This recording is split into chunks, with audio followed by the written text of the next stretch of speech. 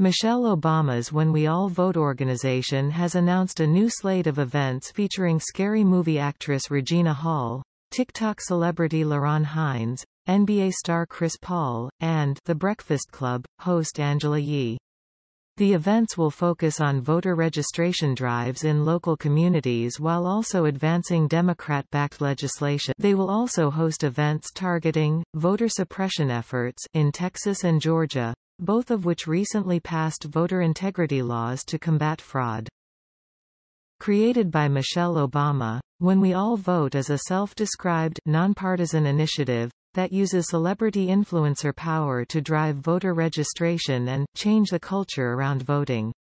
Among its celebrity chairs are Tom Hanks, Selena Gomez, Lin-Manuel Miranda, Kerry Washington, and soccer star Megan Rapinoe, all of whom backed Joe Biden in last year's. The organization is aggressively pushing the Senate to pass the John Lewis Voting Rights Advancement Act, which would radically transform America's electoral system to the benefit of Democrats.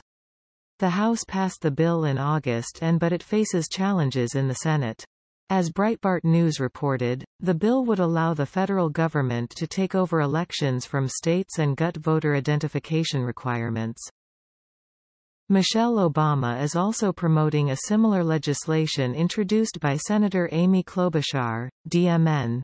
The innocuously named Freedom to Vote Act, which would federalize elections and mandate controversial provisions like drop boxes for absentee vote by mail ballots, which critics have blasted as invitation when we all vote's first event will be the hashtag back to the ballot box week of action, which will take place from September 25 to October 3 and include several Instagram live discussions.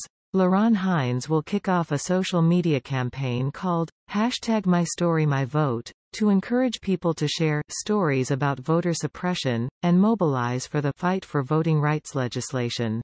During last year's presidential race, When We All Vote used its considerable celebrity power to promote vote by mail, including a virtual event that featured appearances by Tom Hanks and Rita Wilson, and former Obama administration official Valerie Jarrett.